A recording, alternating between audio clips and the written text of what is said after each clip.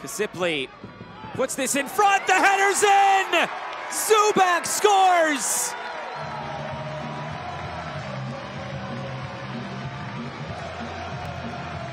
The perfect start for Orange County at home. 1